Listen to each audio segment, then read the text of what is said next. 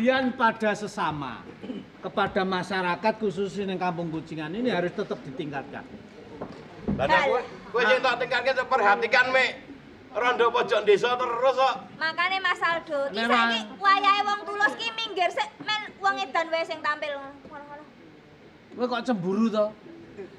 Cemburu. Seorang janda hamil itu harus diperhatikan.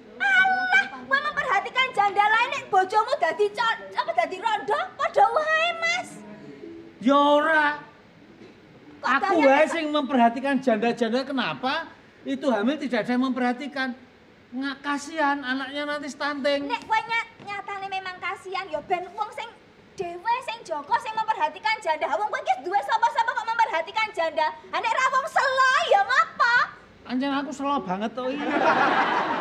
Eh kudune Aku nek sing iki. ora sing tak perhatikan mesti janda, ibu muda hamil. Itu jadi tanggung jawabku. Ora Aku wong. ngeleluri apa sing didhawuhke simbah-simbah mbiyen. Apa? Paring ana wene ana teken wong sing kelunyan, wene ana klambi wong sing kawudan. Wene ana wong panganan wong sing keluwen. Janda-janda perlu butuh perhatian, tak perhatiin.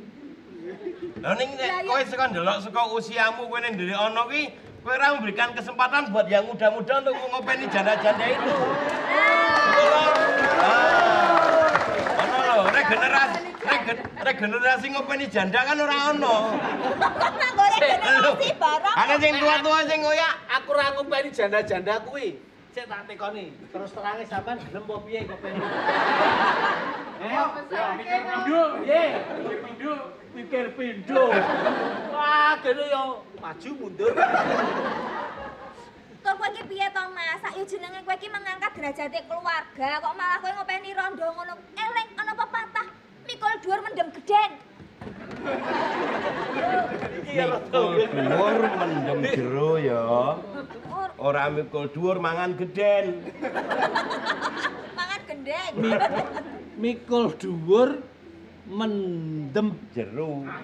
mendem apa? Gah, gah, gah. Apa ora kok ngono kuwi ra kok ngono kuwi, Mas? Wis mari lho iki. Aku coba wara-warai lho. Lah ngapa? Eh? Kuwi mau. Ya memper, memperhatikan ya memperhatikan ngono soalnya nek ya kuwi mau bener omongane Dalijo mau Daniel iki meh padha karena wedi nek apa stunting Kurang gizi. kurang gizi Nanti jadi stunting Kowe coba. ngerti to tangga desa kucingan kae Hmm. sing wong meteng Heeh. sangang sasi wah wingi ngetokke wedhus kok dek ya Loh. Ngene iki piye? Kok iso Kuwi ora ming stunting ning plus kok iso ngetokke lho wedhus? dek tenan nang omahe meteng sangang sasi oh to do dituli kanca-kanca kuwi ngetokke wedhus Welok tenan Lah iki. kok yo ora wah sembrat no, Mas. Kok ora kok wong seko Sing sembrat apane? ngetokke wedhus dek dek ning omah kae ngingu wedhus limo dek meteng sangang sasi wedhuse rong pakani ning kandang terus ditokke wong wah. ngetokke wedhus saka kandang Oh, berarti wong hamil, Mm-mm. hamil ngene iki ngetokke wedhus. Nah. Ngene Nil, ora dong kowe. Wong hamil kok ngetokke sapi. Lah. stunting. Apa sebabnya wong hamil kuwi mesti ning ngarep? Ya wis saka konone. jenenge kodrate ya ngono kuwi nang weteng, Mas. Ra ono wong hamil ana ning cikar. Ya ra ono. Kowe ya aneh. Ya.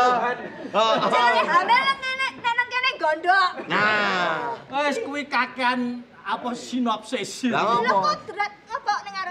Orang hamil itu di depan. Ah, Ini kenapa? sebuah kebanggaan. Ditunjukkan pada sesama. Apa? Inilah hasil karya semangat.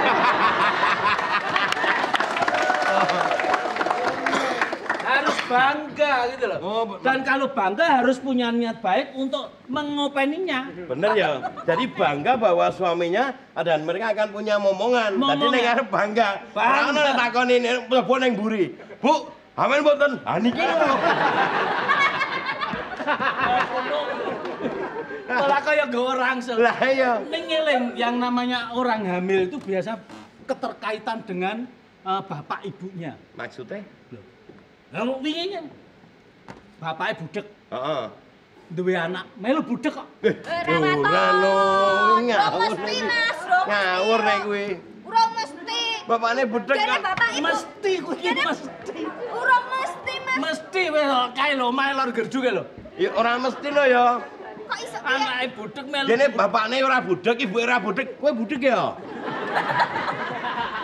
Tantem lho we Mas. Kuwi bapakne budek, anake melu budek. Ya ora melu kok iso? Melu wae nek ra melu budek apa melu tanggane.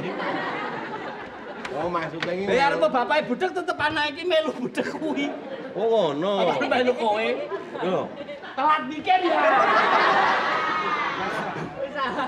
Namanya juga Wong usaha. kene wis ditekan lagi.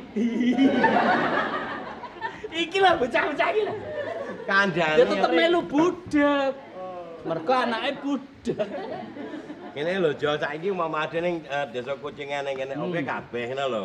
Ning aku ora setuju nek carane ngono lho. Beri, beri kesempatan pada diriku lah untuk mengopeni janda hamil tadi. Ora mek kowe tok. Ngono beda wong.